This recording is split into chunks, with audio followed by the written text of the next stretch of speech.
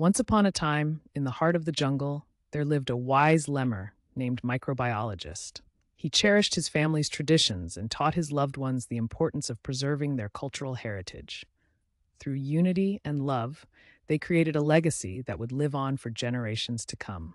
And as the sun set on another day, Lemur Microbiologist smiled, knowing that their bond was unbreakable. Remember, dear children, that family traditions are like roots that keep us grounded and connected to who we are. Let us honor them and pass them on with love and pride.